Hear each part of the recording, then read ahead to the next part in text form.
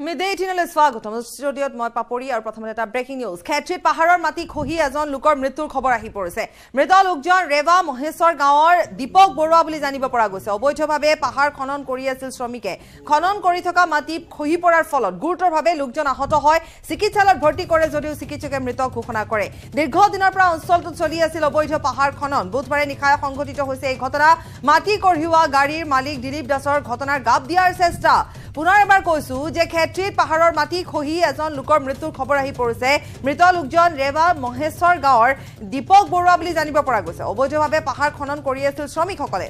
খনন কৰি থকা মাটি খহি পৰাৰ ফলত গুৰুতৰভাৱে লোকজন আহত হয় আৰু চিকিৎসালয়ত ভৰ্তি কৰাৰ পিছতে চিকিৎসকে মৃত ঘোষণা কৰে। দীৰ্ঘ দিনটোৰ দীৰ্ঘ দিনৰে পৰা এই অঞ্চলটোত অবৈধ পাহাৰ খনন চলি আছে। ৰাইজে পূৰ্বৰে পৰা অভিযোগ উত্থাপন কৰিছিল। কিন্তু যিহেতু মাটি কঢ়িওৱা গাড়ীৰ মালিক দিলীপ দাসে এই ঘটনাৰ গাপ দিয়াৰ চেষ্টা কৰিছে আৰু পাহাৰ এনেধৰণে মুকলিভাৱে আহ, খনন কৰি থকা হৈছে আৰু এই অভিযোগ পূৰ্বৰে পৰা আছে বা দেখিছেও সকলোৱে। কিন্তু তাৰ পিছতো বিহিত ব্যৱস্থা গ্ৰহণ কৰা নাই। এইসমূহ পাহাৰৰ ওপৰৰ ফালে যিহেতু কিছু লোকেও বাস কৰে। গতিকে ভৱিষ্যতেও তেনেধৰণৰ ঘটনা সংঘটিত হোৱাৰো সম্ভাৱনা আছে। তাৰ মাজতে এজন লোকৰ মৃত্যু হৈছে। মানে যিজন মানুহ মৰিছিলে তাৰ নামটো চানা হয়। ইয়ে মানে এনেকৈ সুকি সুকি মানে সিয়ে মানে কথাটো নুশুনে আৰু। সদায় মানে কি আমি বাধা দিওঁ স্বত্তেও মানে আহিবলৈ চেষ্টা কৰে। আমি এতিয়া কি কৰোঁ? গাড়ীখন? গাড়ীখন দিলীপ উপাধিটো নাজানো ঢোলডাঙৰে বোলে দিলীপ।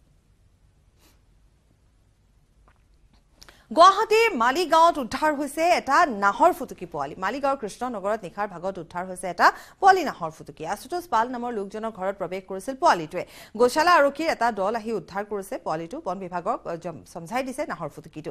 অঞ্চলটোত পোৱালিটোৰ মাতৃ বিচৰণ কৰি থকাৰো আশংকা প্ৰকাশ কৰা হৈছে। নাহৰ ফুটুকী উদ্ধাৰৰ পিছতে এতিয়া অঞ্চলবাসী শংকিত হৈ পৰিছে। কাৰণ পোৱালি নাহৰ ফুটুকী বা নাহৰ ফুটুকীৰ পোৱালি যিহেতু উদ্ধাৰ হৈছে গতিকে নিশ্চিতভাৱে তাত নাহৰ ফুটুকী পোৱালিৰ মাতৃও চাগৈ ঘূৰি ফুৰিছে মুকলিভাৱে আৰু বিশেষকৈ এই স্থানত মালিগাঁৱত বিভিন্ন ঠাইত মালিগাঁৱৰ বিভিন্ন প্ৰান্তত আমি পূৰ্বতেও কৈছোঁ নাহৰ ফুটুকীয়ে মুক্ত বিচৰণ কৰি ফুৰে ৰাইজৰ চোতালত মুকলিভাৱে বিচৰণ কৰি ফুৰে কাৰোবাৰ ঘৰত সোমাই কাৰোবাৰ শনি কোঠাত সোমাই নাহৰ ফুটুকীয়ে তাৰ মাজতে এটা নাহৰ ফুটুকীৰ পোৱালি উদ্ধাৰ হৈছে আৰু আশুতোষ পাল নামৰ এগৰাকী লোকে বন বিভাগক খবৰ দিয়ে গৌশালা আৰক্ষীক খবৰ দিয়ে। পৰৱৰ্তী সময়ত গৌশালা আৰক্ষীয়ে এই নাহৰ ফুটুকী পোৱালিটো উদ্ধাৰ কৰি লৈ গৈছে।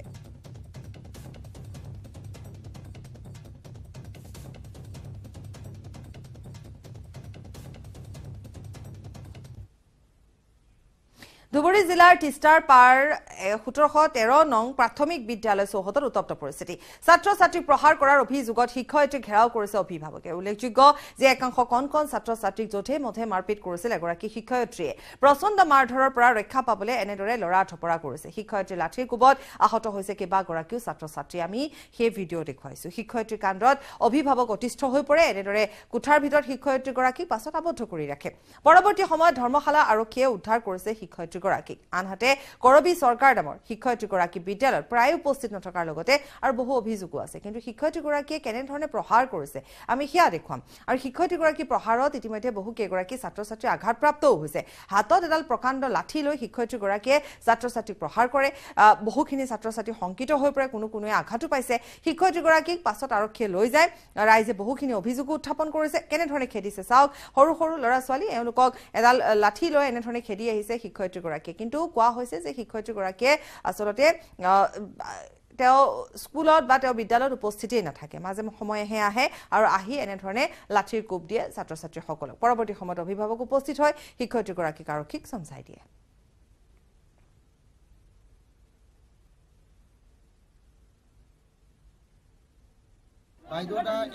আসবে সাড়ে যাবে সবাব তো একদিনও পড়া নেয় না অল্প খালি মারধর করে আজকে কমসে কম পঁচিশ তিরিশ জন সবাব ডাকে কারো মানে হাত ভাঙছে কারো দাপনা ভাঙছে কারো মাথা ফাটাই দিছে আর সবাই গেলে মই আজিহে অলপমান মানে দিগদাৰী কৰিছে কাৰণে মানে মানি মাৰিছোঁ এজন দুজনক মাৰিছোঁ। সেইটোতো মোৰো ল'ৰা ছোৱালী আছে সেইটো মই গম পাওঁ। সেইটো সিহঁতৰ কথা সেইটো ময়ো নাজানো। সিহঁতে অহাৰ পিছতো মানে কি মইতো মিউচুৱেল ট্ৰেন্সফাৰ লৈছিলোঁ। ইয়াতে স্থলত গুৰুত্ব অভিযোগ দিছে আপুনি এজন ল'ৰাৰ বোলে হাতো ভাঙি দিছে এনেকুৱা গুৰুত্বৰ অভিযোগ আহিছে।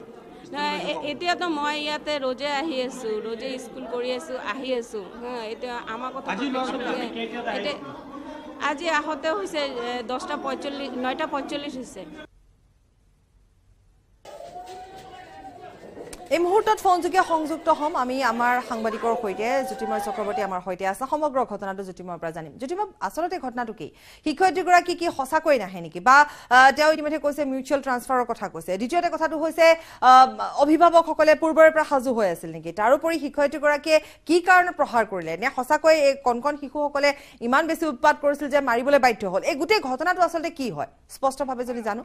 হয় পাপৰি আচলতে সমগ্ৰ কথাটো হৈছে শিক্ষকে ছাত্ৰক প্ৰহাৰ কৰা কোনো নতুন কথা নহয় কিন্তু আজিৰ দিনত হয়তো শিক্ষাৰ আইন কিছু পৰিৱৰ্তন হৈছে হাতেদি প্ৰহাৰ কৰিব পাৰে বা লাঠিৰে কৰিব নোৱাৰে এনেকুৱা কিছু কথা আছে। কিন্তু এটা কথা এই দুৰ্গম অঞ্চলৰ বা ধুবুৰীৰ পৰা চহৰৰ পৰা বহুখিনি দূৰত তিষ্টাপাৰ এটা যথেষ্ট দুৰ্গম অঞ্চল সেই অঞ্চলত মহিলা শিক্ষক এগৰাকীৰ কাৰণে তেনেধৰণে শিক্ষকতা দিয়াৰ কাৰণে তেওঁ মিউচুৱেল ট্ৰান্সফাৰ তেওঁ বিচাৰিবও পাৰে বা তেওঁ তেওঁ চাকৰিৰ পৰা বেলেগ ঠাইলৈ তেওঁ স্থানান্তৰিত হ'ব বিচাৰিব পাৰে সেয়া কোনো ডাঙৰ কথা নহয়। কিন্তু এই সমগ্ৰ ঘটনাত এটা বস্তু কালিৰ বস্তুটোত কালি যি ঘটনাটো ঘটিছে ইয়াত কিন্তু এটা কথা স্পষ্ট যে মানুহখিনি আগৰে পৰা ৰৈ আছিল কিবা এটা কৰিম বুলি তেওঁলোকৰ এটা কিন্তু তাতে এটা মানে পূৰ্বৰ পৰা এটা পৰিকল্পনা আছিল আৰু পৰিকল্পনা। অনুযায়ী কিন্তু তেওঁলোকে নহলে একৰে তেনেদৰে শিক্ষয়িত্ৰীয়ে প্ৰহাৰ কৰিছে বা যদি শিক্ষয়িত্ৰী কোনো অন্যায় কৰি থাকে তেওঁলোকে হয়তো তেওঁলোকৰ ঊৰ্ধ্বতম কৰ্তৃপক্ষক জনাব পাৰিলে বা আন কিবা কৰিব পাৰিলে কিন্তু তেওঁক ঘেৰি ধৰি চাৰিওফালৰ পৰা পিছত আৰক্ষীৰ সহযোগত শিক্ষক এজন বিদ্যালয়ৰ পৰা ওলাব লাগে এই জ্যোতিময় চক্ৰৱৰ্তী দুটা কথা থাকে। এটা হৈছে যে হয় ঠিকেই কিছু আইন আছে গতিকে এতিয়া ছাত্ৰ ছাত্ৰীসকলক আপুনি লাঠি প্ৰয়োগ কৰিব নোৱাৰে মাৰিব নোৱাৰে আপুনি হাতেৰে মাৰিব পাৰে বা তেওঁলোকক বুজাব পাৰে। কিন্তু আপুনি যিখন ঠাইৰ কথা কৈছে দেখা নাই কিন্তু আপুনি যেনেধৰণে বৰ্ণনা কৰিছে অতিকৈ পিছপৰা তাত যিসকল ল'ৰা ছোৱালী ইতিমধ্যে পঢ়িবলৈ আহিছে তেওঁলোকেও নিশ্চয় সৰু সৰু ল'ৰা ছোৱালী তেওঁলোকে ইমান বেছি হয়তো উৎপাত কৰিছে তেওঁলোকে হুলস্থুল কৰিছে যাৰ ফলত তেওঁ এডাল লাঠি লৈ পিটিবলৈ আহিছে। কিন্তু এই গোটেই কথাটো আচলতে পূৰ্ব পৰিকল্পিত যেন বোধ হৈছে এইবাবে কাৰণ হঠাৎ ইমানখিনি মানুহ তালৈ আহিছে আৰু এগৰাকী শিক্ষয়িত্ৰীক তেওঁলোকে ঘেৰাও কৰিছে। কিন্তু এইখিনি এটা কথা যে এগৰাকী শিক্ষয়িত্ৰী তেওঁ সন্মানীয় এগৰাকী ব্যক্তি গতিকে আপুনি ঠিকে কৈছে যে ঊৰ্ধ্বতম কৰ্তৃপক্ষৰ সৈতে কথা পাতিব পাৰিলেহেঁতেন কিন্তু তেওঁলোকে আইন হাতত তুলি ল'বলগীয়া এটা কথা আহি পৰিলে। হয় পাপৰি যদি শিক্ষয়িত্ৰীগৰাকী দীৰ্ঘদিনৰ পৰা বিদ্যালয়খনত উপস্থিতে নহয় তেতিয়াহ'লে ইমান দিনে তেওঁলোকে ক'তো জনোৱা নাই কিয়? হঠাৎকে তেওঁলোকে চাৰিওফালৰ পৰা বিদ্যালয়খন ঘেৰি ধৰিলে যেনেকৈ মানে বেলেগ এটা বেলেগ এটা পৰি- পৰিৱেশ সৃষ্টি হ'ল তাত য'ত আৰক্ষী আহিবলগীয়া হ'ল শিক্ষয়িত্ৰীখনক উদ্ধাৰ কৰিবৰ কাৰণে। সেই কথাটো কিন্তু যথেষ্ট চিন্তাৰ কাৰণ। এক নম্বৰ কথা কাৰণ গাঁও অঞ্চলত শিক্ষা দিবলৈ বহু দূৰ দূৰণিৰ পৰা শিক্ষক ধুবুৰী জিলালৈ আহে। আৰু তেওঁলোকৰ লগত যদি এনেকুৱা ধৰণৰ ব্যৱহাৰ কৰা হয় তেওঁলোকে ভৱিষ্যতে সেই গাঁও অঞ্চলসমূহত তেওঁলোকে চাকৰি কৰিব নে নাই বা তেওঁলোকৰ যি সুৰক্ষা নিৰাপত্তা এগৰাকী মহিলা শিক্ষকৰ সেয়া কিন্তু যথেষ্ট গুৰুত্বপূৰ্ণ কথা। আন এটা কথা যদি শিক্ষয়িত্ৰীৰ কথাকে যদিও আমি ক'ব যাওঁ যে ছাত্ৰ ছাত্ৰী ভুল কৰিছে কিবা কৰিছে তেওঁলোকক বেলেগ শাস্তি দিব পাৰে বা তেওঁলোকৰ অভিভাৱক মাতি পেলাই তেওঁলোকে জনাব পাৰে। কিন্তু এনেকে লাঠিৰে কোবোৱাটো তেওঁৰ হয়তো প্ৰয়োজন হোৱা নাই বা তেওঁৰ হয়তো প্ৰয়োজন নাছিল। এই কথাটো কিন্তু তাত থাকি যায়। থাকি যায়। সেইটোৱে কৈছো জ্যোতিময় চকুৰি দুটা কথা যে তেওঁ লাঠিৰে প্ৰহাৰ কৰিব নালাগিছিল। কাৰণ সৰু সৰু ল'ৰা ছোৱালী তেওঁলোকক বুজাব লাগিছিল বা অভিভাৱকক মাতি এটা শাস্তিমূলকভাৱে তেওঁলোকক ক'ব পাৰিলেহেঁতেন এটা কমপ্লেইন এটা কৰিব পাৰিলেহেঁতেন। কিন্তু সেয়া নকৰিলে। দুই নম্বৰ কথাটো হৈছে যে তাত পূৰ্বৰে পৰা চুপ লৈ আছিলে এই সকলো লোকে সেইবাবে এগৰাকী শিক্ষয়িত্ৰীক তেওঁলোকে ঘেৰাও কৰিব পাৰিলে। জ্যোতিময় চক্ৰৱৰ্তী আপোনাক ধন্যবাদ জনাইছো আৰু এই মুহূৰ্তত পুনৰ কৈছো যে ধুবুৰী তিষ্টাপাৰাৰ এখন বিদ্যালয় যিখন ইতিমধ্যে জ্যোতিময় কোৱা অনুসৰি যে যথেষ্ট দূৰ ধুবুৰী চহৰৰ পৰা যথেষ্ট ভিতৰুৱা অঞ্চলত আছে। গতিকে এনেকুৱা ভিতৰুৱা অঞ্চলত মহিলা শিক্ষকে চাকৰি কৰাটো ক্ষেত্ৰতো যথেষ্ট কিন্তু প্ৰশ্ন উঠে। কাৰণ তেওঁলোকে দুৰ্গম অঞ্চললৈ আহি চাকৰি কৰিবলগীয়া হয়। তেওঁ মিউচুৱেল ট্ৰান্সফাৰ বিচাৰিছিল দিয়া হোৱা নাই। তেওঁ তাত চাকৰি কৰি আছে কিন্তু তাৰ মাজতে যিহেতু এই অঘটনটো সংঘটিত হৈছে আৰু এনেকুৱা এটা পৰ্যায় পাইছেগৈ ৰাইজে এনেকুৱা ধৰণে ঘেৰাও কৰিছে। গতিকে তেওঁ কিমান সুৰক্ষিত? সেই কথাবোৰ এতিয়া সেই প্ৰশ্নবোৰ আহি পৰিছে। যাৰ ফলত তেওঁ এই দুৰ্গম এলেকাটোৰ পৰা উলিয়াই আহিব পাৰে। তেওঁ আৰক্ষীৰ আশ্ৰয় ল'বলগীয়া হৈছে আৰক্ষীৰ সহায় ল'বলগীয়া হৈছে।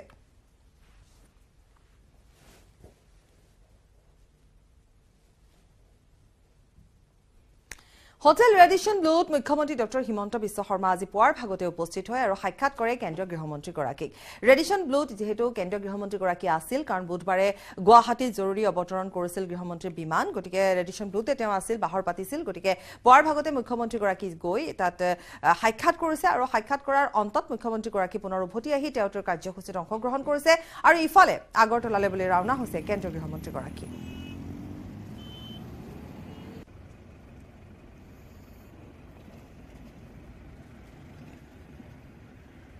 আৰু ইফালে আগৰতলালৈ ৰাওনা হৈছে কেন্দ্ৰীয় গৃহমন্ত্ৰী অমিত শ্বাহ। ধৰ্মনগৰত কেন্দ্ৰীয় গৃহমন্ত্ৰী অমিত শ্বাহে ফ্লেগ অফ কৰিব বিজেপিৰ ৰথযাত্ৰাৰ। উত্তৰ আৰু দক্ষিণ ত্ৰিপুৰাৰ প্ৰায় পঞ্চাছ হাজাৰ বিজেপি কৰ্মীয়ে অংশগ্ৰহণ কৰিব প্ৰথম দিনৰ এই কাৰ্যসূচীত। আৰু বাৰ জানুৱাৰীত ৰথযাত্ৰাৰ সামৰণি অনুষ্ঠানত অংশগ্ৰহণ কৰিব বিজেপিৰ ৰাষ্ট্ৰীয় সভাপতি জে পি নাড্ডাই।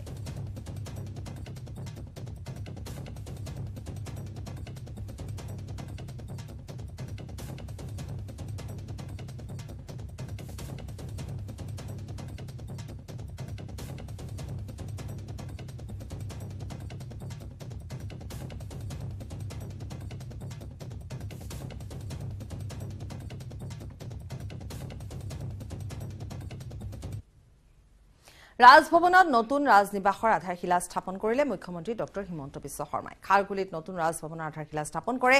একচল্লিছ কোটি বত্ৰিছ লাখ টকাৰে নিৰ্মাণ হ'ব এই ৰাজনিবাস। গুৱাহাটীত আজি কেইবাটাও কাৰ্যসূচী আছে। মুখ্যমন্ত্ৰীগৰাকী গুৱাহাটীত মুঠ সাতটা কাৰ্যসূচী। মুখ্যমন্ত্ৰী ডক্টৰ শৰ্মাৰ গুৱাহাটী বিকাশৰ পক্ষে কাৰ্যসূচী আজি। গতিকে এক হাজাৰ সাতশ সাতসত্তৰ কোটি টকাৰ প্ৰকল্পৰ আধাৰশিলা আৰু ভূমি পূজন আজি কৰিব। আমি কিছু সময় পূৰ্বে পোনপটীয়া সম্প্ৰচাৰ আগবঢ়াইছিলো ৰাজভৱনৰ পৰা। ৰাজভৱনত যিহেতু মুখ্যমন্ত্ৰীগৰাকী উপস্থিত হৈ ঘোষণা কৰে আৰু লগতে ৰাজনিবাসৰ প্ৰসংগও তেওঁ উল্লেখ কৰিছে আৰু খুব সুন্দৰভাৱে ৰাজনিবাস যেনেধৰণে পৰিকল্পনা কৰা হৈছে নিৰ্মাণ কৰাৰ কথা সমান্তৰালভাৱে আমি কৈ যাম। যিহেতু খাৰগুলিত নতুন ৰাজভৱনৰ আধাৰশিলা ইতিমধ্যে স্থাপন কৰাৰ পিছত ৰাজনিবাস যিহেতু ৰাজভৱনৰ নাম এতিয়া ৰাজনিবাস হ'ব একচল্লিছ কোটি বত্ৰিছ লাখ টকাৰে নিৰ্মাণ হ'ব আৰু অন্য বহুখিনি কাৰ্যসূচী আছে সেই কাৰ্যসূচীলৈ বুলি আগবাঢ়িছে ইতিমধ্যে মুখ্যমন্ত্ৰীগৰাকী। আৰু মুখ্যমন্ত্ৰীগৰাকীৰ আজি ব্যস্ততাপূৰ্ণ কাৰ্যসূচী সন্দৰ্ভতো আমি জনাই যাম।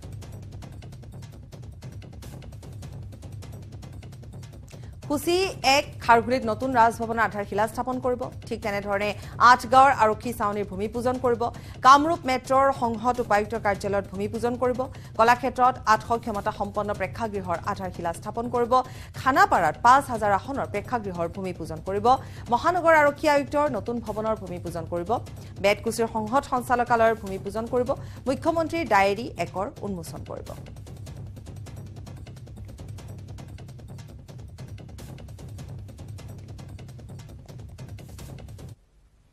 খবৰ অব্যাহত ৰাখিম সময় এটি বিৰতি সাধাৰণ ষ্টীল এনেকৈ পৰে মাইথন ষ্টীল এনেকৈ পৰে ধমকৈ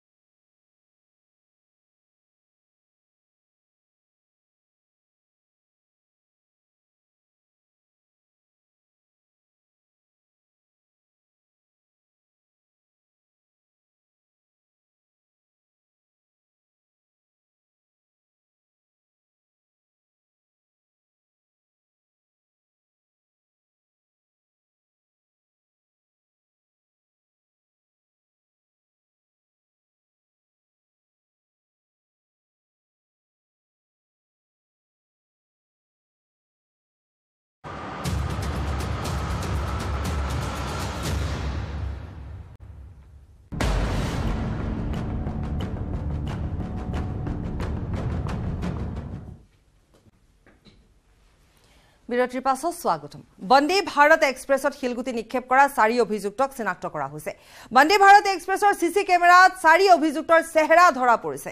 দুই জানুৱাৰীত পশ্চিমবংগৰ মালদা সংমণ্ডলৰ কুমাৰগঞ্জ ৰেল ষ্টেচনত বন্দে ভাৰত এক্সপ্ৰেছত শিলগুটি নিক্ষেপ কৰিছিল অচিনাক্ত দ্ৰুবিতই। যাত্ৰীৰ সুৰক্ষাৰ বাবে বন্দে ভাৰত এক্সপ্ৰেছৰ প্ৰতিখন দুৱাৰত তিনিটাকৈ হাই ৰিজলিউশ্যন কেমেৰা লগোৱা হৈছে। উল্লেখযোগ্য যে হাওৰা নিউ জলপাইগুৰিত বন্দে ভাৰত এক্সপ্ৰেছৰ চি চি কেমেৰাৰ ভিডিঅ' ফুটেজ আৰু ফটোৰ আধাৰত ৰেলৱে আৰক্ষীয়ে শিলগুটি নিক্ষেপ কৰা লোকসকলক চিনাক্ত কৰিছে। ইতিমধ্যে চাৰি অভিযুক্তক গ্ৰেপ্তাৰ কৰি তদন্ত অব্যাহত ৰাখিছে। পুনৰ এবাৰ এই প্ৰসংগত আমি জনাই যাম যে বন্দে ভাৰত এক্সপ্ৰেছত শিলগুটি নিক্ষেপ কৰা চাৰি অভিযুক্তক চিনাক্ত কৰা হৈছে।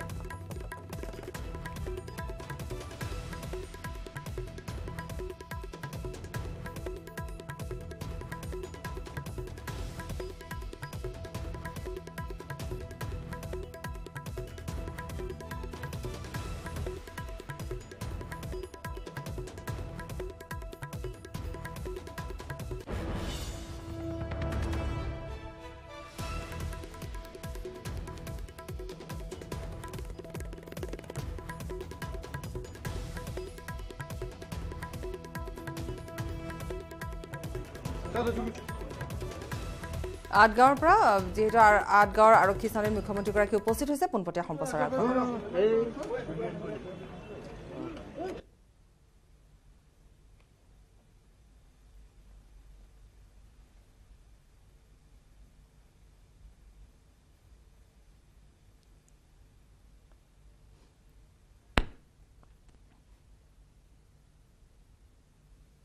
বান্ধৱীসকল আজি আমি গুৱাহাটী মহানগৰীত বিকাশৰ বাবে এদিন এই কাৰ্যসূচী পালন কৰিছোঁ। আমাৰ গুৱাহাটী মহানগৰীত আজি আমি নতুন ৰাজভৱনৰ আধাৰশিলা স্থাপন কৰিলোঁ। গুৱাহাটীত আমি এটা পুলিচ ৰিজাৰ্ভ যিটো নেকি দশম আৰক্ষী বেটেলিয়ন পাণবজাৰৰ পুৰণা পুলিচ কোৱাৰ্টাৰ আৰু গুৱাহাটীৰ এই আঠগাঁৱত থকা পুলিচ ৰিজাৰ্ভ। এই তিনিটা ভূমিক সামৰি নিৰ্মাণ কৰা হ'ব।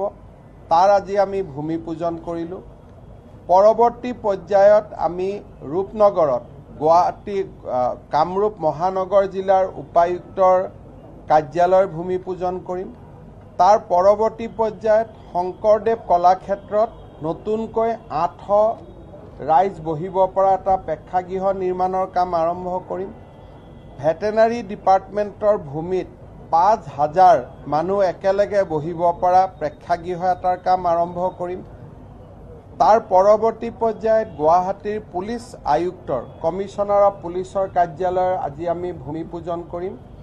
আৰু শেষত সংহত সঞ্চালকালয় অৰ্থাৎ গুৱাহাটীত বিভিন্ন ভূমিত যিমানবিলাক সঞ্চালকালয় আছে সেই আটাইবিলাক সঞ্চালকালয় বেতকুচিলৈ স্থানান্তৰ কৰি এডোখৰ মাটিতে নিৰ্মাণ কৰাৰ কাম আজিৰ পৰা আৰম্ভ কৰিম। আজি আমি আধাৰশিলা কৰাৰ লগে লগে বা ভূমি পূজন কৰাৰ লগে লগে অহাকালিৰ পৰাই ইয়াত কাম আৰম্ভ হ'ব। আজি আমি ইয়াত যি স্থানত আছোঁ সেইটো হ'ল পুলিচ ৰিজাৰ্ভৰ যিটো প্ৰকল্প। এই গোটেই পুলিচ ৰিজাৰ্ভৰ প্ৰকল্পটো আমি পাঁচশ চৌৰাল্লিছ কোটি টকা ইয়াত ব্যয় কৰিম। এই নিৰ্মাণৰ দায়িত্ব পাইছে প্ৰসিদ্ধ যিটো আমাৰ ভাৰতৰ প্ৰসিদ্ধ কনষ্ট্ৰাকশ্যন কোম্পানী লাৰ্চন এণ্ড টাৰ্বোৱে এই কনষ্ট্ৰাকশ্যনৰ জৰিয়তে আমি য'ত বৰ্তমান থিয় হৈ আছোঁ তাত আমি প্ৰায় চাৰিশৰ ওচৰা ওচৰি আমি কোৱাৰ্টাৰ বনাব পাৰিম। Forty two three sixty seventy two total almost চাৰিশ নতুন ফ'ৰ থাৰ্টি কোৱাৰ্টাৰ হ'ব। ইয়াত আমাৰ পুলিচ ৰিজাৰ্ভৰ অফিচ হ'ব G plus five police barrack হ'ব এখন স্কুল থাকিব আৰু এটা কমিউনিটি বিল্ডিং থাকিব। আটাইতকৈ ডাঙৰ কথা গুৱাহাটীত পুলিচৰ কোনো নিজা পেৰেড গ্ৰাউণ্ড নাছিলে। এই ভূমিতে এটা পুলিচৰ নিজস্ব পেৰেড গ্ৰাউণ্ড হ'ব। এই প্ৰকল্পটোৰ লগতে সংগতি ৰাখি আপোনালোকে জানে যে পাণবজাৰ আৰক্ষী থানাৰ কাষতো পুলিচৰ কিছু কোৱাৰ্টাৰ আছিলে আৰু দশম আৰক্ষী বাহিনীটো তাতো মাটি আছে। এই তিনিটা জেগাতো আমাৰ ৰিজাৰ্ভ নিৰ্মাণৰ কাম আৰম্ভ হ'ব। সেই দুইটা প্ৰকল্প এই প্ৰকল্পটোৰ লগতে সংলগ্ন। আৰু সেইবাবে আজি আমি ইয়াতে কেন্দ্ৰীয়ভাৱে ভূমি পূজন কৰিছোঁ।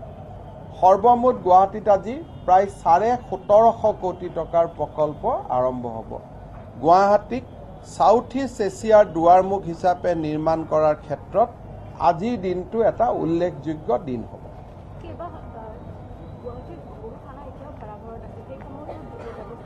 গুৱাহাটীত আমি তিনিটা কৰিছোঁ। এটা হৈছে পলাশবাৰীত এখন আমি থানা বনাব খুজিছোঁ য'ত নেকি থানাৰ অ' চিৰ পৰা ছাব ইন্সপেক্টৰলৈকে সকলো ওপৰতলাত থাকিব আৰু তলত থানা হ'ব। ঠিক সেইধৰণে গুৱাহাটীত আমাৰ গীতানগৰ আৰু দিছপুৰ পুলিচ থানাক বাদ দিলে। সকলো জেগাতে আমাৰ মাটি আছে।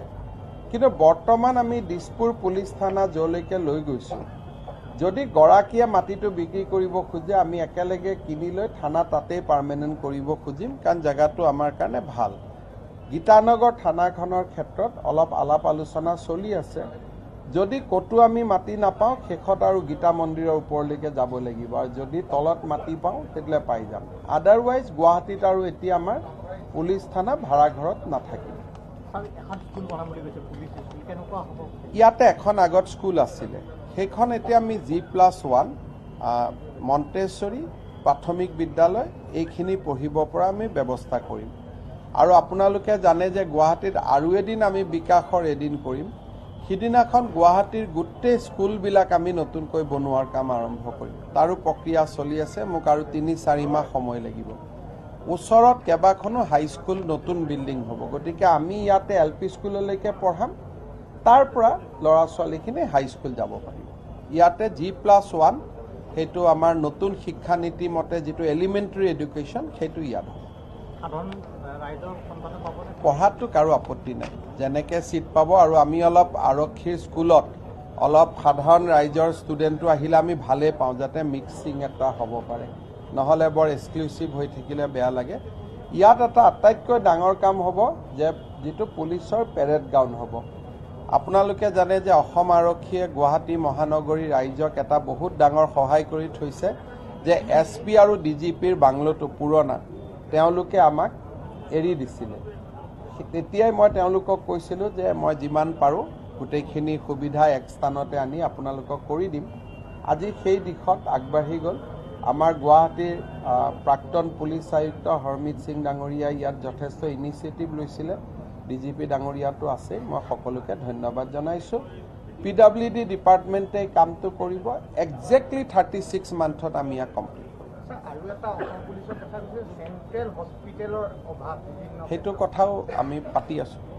এনেই গুৱাহাটীত আৰু বহুত বেছি চেণ্ট্ৰেল হস্পিটেলো নালাগিব। দুখন মেডিকেল কলেজ হোৱাৰ পিছত আপোনাৰ এম এম চিও ইমান ডাঙৰ হৈ আছে। লাহে লাহে আমাৰ অভাৱ পুৰণা অভাৱবিলাক এতিয়া ৰিডিফাইন হৈ গৈ আছে। কাৰণ চিটিখন অলপ বেলেগ পৰ্যায়ত গৈ আছে। বৰ্তমানৰ পুলিচ পাণবজাৰ পুলিচ ৰিজাৰ্ভৰ পৰা এইমছ পাওঁতে মাত্ৰ সাত মিনিট লাগিব গতিকে এতিয়া আজিৰ পৰা পাঁচ বছৰ আগত যিবিলাক অভাৱ অভিযোগ আমি পাতিছিলোঁ সি এতিয়া এটা নতুন ডেফিনেশ্যনৰ মাজেৰে গৈ আছে। গতিকে মই ভাবোঁ যে পুলিচে এছাম ডক্তৰ কম্পাউণ্ডাৰ নাৰ্ছ মোৰ মতেদি তাৰ বহুত প্ৰয়োজনীয়তা নহ'ব। গুৱাহাটীৰ পুলিচ ৰিজাৰ্ভৰ পৰা এইফালেদি আঠগাঁও দি গ'লে সাত মিনিট আঠ মিনিটত এইমছ পাব। ওচৰতে কালাপাহাৰৰ ফালে গ'লে এখন মেডিকেল কলেজ পাব। এই জেগাটোক যদি আমি চেণ্ট্ৰেল বুলি ধৰি থওঁ চ' দহ মিনিটৰ ভিতৰত সকলো উপলব্ধ হ'ব। ছাৰ মহানগৰীত অপৰাধ যদিও আহ, কিছু হ্ৰাস পাইছে কিন্তু তথাপিও কমি যোৱা নাই আৰু বিভিন্ন ঠাইত এতিয়াও কিন্তু তেনেধৰণৰ হৈ আছে। চাওক দুলীয়াজনৰ পৰা এগৰাকী কিশোৰী অপহৰণ কৰা হ'ল কালি ৰিকভাৰো কৰা হ'ল। দুলীয়াজানৰ কিশোৰীগৰাকীক অপহৰণ কৰা হৈছিলে আমি তৎকালীনভাৱে ৰিকভাৰী কৰিছোঁ। এইটো এইটো ইলপমেণ্ট বুলি কয়। সাধাৰণতে আপোনালোকে জানে যে ই প্ৰলোভনত পৰি তেওঁলোক গুচি যায়। গতিকে অপহৰণ ঠিক কিডনেপিং নহয় ইট ইজ এ ইলপমেণ্ট দুয়োটাৰ মাজত ডিফাৰেঞ্চ আছে। গুৱাহাটীত অপৰাধ অলপ ডিচেম্বৰ মাহত বাঢ়িছিলে। এতিয়া আৰক্ষী বিভাগে কঠোৰ পদক্ষেপ লৈছে আৰু আমি এইবাৰ এটা গুৱাহাটীত নতুন আইন কৰিব গৈ আছোঁ যে যিমান কমাৰ্চিয়েল দোকানৰ যদি পাঁচজনতকৈ অধিক এমপ্লয়ী আছে তেওঁলোকে এটা চি চি টিভি লগাবই লাগিব। হায়দৰাবাদত আজি চাৰি হাজাৰ? চাৰি লাখ চি চি টিভি আছে। তাৰ মূল কাৰণটো হ'ল যে জনসাধাৰণে সহযোগ কৰে। চৰকাৰে চাৰি হাজাৰ দুই হাজাৰ তিনি হাজাৰ যিমান চি চি টিভি লগাব লগাব কিন্তু আমি এখন আইন পাছ কৰিম অহা বিধানসভাত য'ত যদি কোনো এটা দোকানৰ পাঁচটাতকৈ অধিক কৰ্মচাৰী তাৰমানে দোকানখন অলপ অৱস্থা সম্পন্ন তেতিয়াহ'লে আমি দিয়া স্পেচিফিকেশ্যন মতে তেওঁলোকে এটা চি চি টিভি ল'বই লাগিব। হায়দৰাবাদত চৰকাৰে লগাইছে চাৰি হাজাৰ পাব্লিকে লগাইছে তিনি লাখ ছিয়ান্নব্বৈ হাজাৰ। তাৰমানে ক্ৰাইমটো অকল পুলিচ নহয় আমি সকলোৱে সহযোগিতা কৰিব লাগিব গতিকে এই আইনখন এপ্ৰিলত আহিব য'ত নেকি পাঁচটাতকৈ যদি যিকোনো ইভেন গভৰ্ণমেণ্ট অফিচৰ যদি পাঁচজনতকৈ বেছি এমপ্লয়ী হয় তেওঁলোকৰ নিজৰ খৰচত সেই বিভাগৰ নিজৰ খৰচত ৰাস্তাৰ ফালে মুখ থকাকৈ তেওঁলোকে এটা চি চি টিভি লগাব লাগিব আৰু চি চি টিভিটো চৰকাৰৰ এপ্ৰুভ হ'ব লাগিব। নিজে এটা যিকোনো কোম্পানী লৈ আহিলে নহ'ব। তিনি মাহৰ ষ্ট'ৰেজ থকা চি চি টিভি হ'ব লাগিব। গতিকে এইটো কৰি দিলে মই ভাবোঁ যে অহা বছৰ ডিচেম্বৰলৈকে গুৱাহাটীত আমাৰ প্ৰায় এক লাখৰ ওচৰা ওচৰি চি চি টিভি হৈ যাব ঘৰ নহয়। পাব্লিকক পাব্লিকক ঘৰক খৰচ কৰিব দিয়াটো উচিত নহয়। এইটো হ'ব চেণ্ট্ৰেল গভৰ্ণমেণ্টৰ অফিচ ষ্টেট গভৰ্ণমেণ্টৰ অফিচ দোকান কমাৰ্চিয়েল এষ্টাব্লিছমেণ্ট ঘৰত লগোৱাত কোনো বাধা নাই কিন্তু ঘৰত ঘৰৰখিনি চৰকাৰী টিভি দি আমি চেষ্টা কৰিম। কিন্তু কোনোবা ঘৰকো হয়তো আমি ক'ব পাৰোঁ যে ফ্লেট হ'লে লগাব লাগিব তিনতলীয়া বিল্ডিং হ'লে লগাব লাগিব। এতিয়া আইনখন বিচাৰৰ মাজত আছে। কিন্তু গুৱাহাটীত এইবাৰ আমি সম্পূৰ্ণ চি চি টিভি কাভাৰেজ এটা কৰিম। আৰু চি টি এম এছ আমাৰ ট্ৰেফিক মেনেজমেণ্ট ছিষ্টেম হোৱাৰ পৰা এটা খুব ভাল হৈছে কি যে যিকোনো এটা অকণমান ক্লু পালেই গোটেই গাড়ীখন ট্ৰেক কৰিব পাৰি। ইমান ভাল টেকন'লজি স্মাৰ্ট চিটিৰ জৰিয়তে আমি পাইছোঁ। গতিকে মই ভাবোঁ যে দুদিনমান আমিও নাজানিছিলোঁ যে তাত কি কি টেকন'লজি আছে। এইবাৰ লাহে লাহে আলোচনা হওঁতে আমি গম পালোঁ যে ইমানবোৰ টেকন'লজি অলৰেডি আমাৰ লগত আছে। আৰু পুলিচত অলপ হিউমেন ইণ্টেলিজেঞ্চটো অলপ কমি গৈছিলে সেইটো আমাক অলপ লাগিব। আৰু মই ভাবোঁ যে মহানগৰ আৰক্ষীয়ে অলপ এটা ছেটবেক আছিলে মই ডিচেম্বৰত নকওঁ। ময়ো যথেষ্ট চিন্তাত আছিলোঁ। কিন্তু by this time they have recovered the ground আৰু যি হয় কষ্ট কৰিব তাৰমানে এইবাৰ বাইডেন চেঞ্জ আনে তেতিয়াহ'লে এই টেকন'লজিটোত হেল্প কৰিব পাৰিব অকণমান কৰিব কিন্তু তাতো কথা আছে অপৰাধীয়েও কিছুমান নতুন নতুন টেকনিক লগায়। চব বস্তু ইমান চিম্পুল নহয় কিন্তু আমাৰ সাধাৰণতে অসমত দুটা গ্ৰুপ আছে। এটা বিহাৰৰ ফালৰ পৰা এটা গ্ৰুপ আহে। আৰু অলপ আৰু এটা হটস্পট আছে তাৰ পৰাও গ্ৰুপ আহে। লোকেলো গ্ৰুপ আহে। কোনোবা এটা সময়ত লুজ পোৱা যেন দেখিলে বহুত সোমাই আহে। আকৌ যেতিয়া পুলিচ ষ্ট্ৰং দেখে আঁতৰি যায়। অকণমান অপৰাধীয়েও নিজৰ নিজৰ টেকনিকবিলাক যেনেকৈ আৰক্ষীয়ে নিজৰ টেকনিকবিলাক ইম্প্ৰুভ কৰে অপৰাধীয়েও নিজৰ টেকনিকবিলাক ইম্প্ৰুভ কৰে। গতিকে সৰুতে যেনেকৈ আমি চিনেমাত পাওঁ যে চোৰ পুলিচৰ খেলা এখন সদায় হৈ থাকে সেইটোৱে কথা।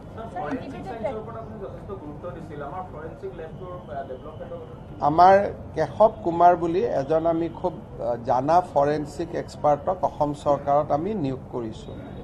তেওঁ ইতিমধ্যে আমাৰ গোটেই ফৰেনচিকত থকা সুবিধা অসুবিধাবিলাক চাই আছে।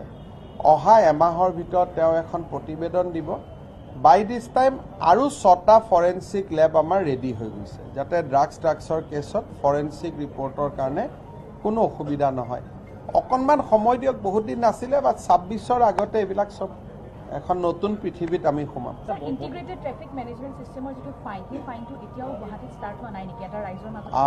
এতিয়ালৈকে আমি গুৱাহাটীত অলপ ফাইনটো হৈছে কিন্তু কম কৰিছোঁ কাৰণ আমি গুৱাহাটীত লেণ্ড ড্ৰাইভিংটো আমি নাজানিছিলোঁ। এতিয়া মই এটা উদাহৰণ দিছোঁ। খানাপাৰা ফালে যেতিয়া আমি চিধা গৈ থাকোঁ যদি আপুনি ষ্টাফ কলেজৰ ফালে যাব লাগে আপোনাৰ গাড়ীখন পাৰ্কিং কৰি দিব লাগিব বাওঁফালে যেতিয়া ট্ৰেফিকত ৰেড লাইট থাকে। আমাৰ মানুহে সোঁফালেও গাড়ীখন পাৰ্ক কৰি দিয়ে।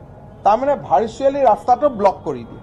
কোনো আগত যাব নোৱাৰে। তেতিয়া মানুহে ট্ৰেফিক ছিগনেলকেইটা গালি পাৰা আৰম্ভ কৰে। কিন্তু যদি আমি গাড়ীখন নিৰ্দিষ্ট লেনত চলাওঁ যদি খানাপাৰাৰ ফালে যাব লাগে এক্সট্ৰিম লেফ্টত ৰাখক। যদি ষ্টাফ কলেজৰ ফালে যাব লাগে ৰাইটত ৰাখক। তেতিয়াহ'লে গাড়ী ক'তো ব্লক নহয়। এতিয়া মানুহৰ অলপ জ্ঞানটো বা আমি যিহেতু প্ৰেক্টিচ কৰিলেহে মানুহে নলেজ হয়। কয় নহয় যে যে যিমানে অভ্যাস কৰিব সিমানে জ্ঞান বাঢ়ে। কেইটামান দিন আৰু আমাৰ সময় লাগিব। তাৰ পিছত আমি ফাইন কৰিম। কিন্তু ৰাছ ড্ৰাইভিং নাম্বাৰ প্লেট নোথোৱা নলগা হেলমেট নথকা এই ফাইনবিলাক আৰম্ভ হৈছে। লেনিং লেনৰ ওপৰত ফাইনটো আমি কৰা নাই। হ'ব? আঠগড় আৰক্ষী চাউনীৰ পৰা ইতিমধ্যে মুখ্যমন্ত্ৰীগৰাকীৰ পোনপটীয়া সম্প্ৰচাৰ আমি আগবঢ়ালো। কাইলৈৰ পৰা আৰক্ষী চাউনী নিৰ্মাণৰ কাম আৰম্ভ হ'ব আৰু পাঁচশ চৌৰাল্লিছ দশমিক পাঁচ পাঁচ কোটি টকাৰে নিৰ্মাণ হ'ব আৰক্ষী চাউনী আৰু এই ভূমিত আৰক্ষীৰ নিজা পেৰেড গ্ৰাউণ্ড থাকিব স্কুল থাকিব পুলিচ মেমৰিয়েল স্কুল থাকিব মন্দিৰ থাকিব। আঠগাঁৱৰ আৰক্ষী চাউনীত মুখ্যমন্ত্ৰী ডক্টৰ শৰ্মাই ইতিমধ্যে এই কথা ঘোষণা কৰিছে আৰু ইতিমধ্যে কোৱা হৈছে যে ঠাইও চাই থকা হৈছে সেই অনুপাতে তেনেধৰণে নিৰ্মাণো কৰা হ'ব।